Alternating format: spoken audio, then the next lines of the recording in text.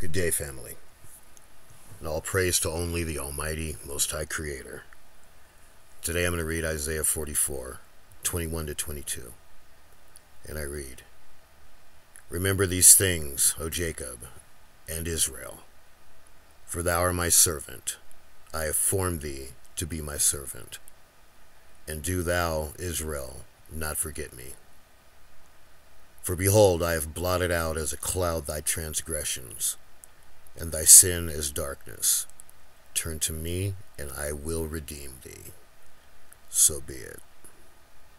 All praise to only the Almighty, Most High Creator, our one and only Savior. Have a beautiful day, family.